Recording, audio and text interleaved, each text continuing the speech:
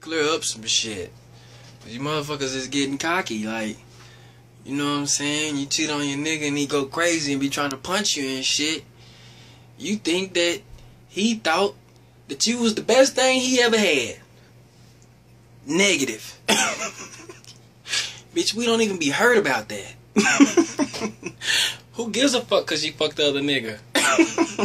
we was cheating anyway. Only thing that motherfucking matters is this is the only thing that really matters. This is what goes through a nigga head. When his bitch cheat on him and he find out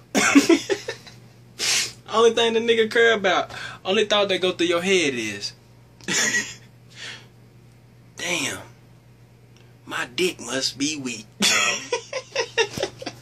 That's the only thing we give a fuck about. Bitch, I need some practice. I need to find some more hoes. I need some sex toys. I need to spice it up. Bitch, you not shit. we looking out for ourselves. Real talk. oh, why he do that?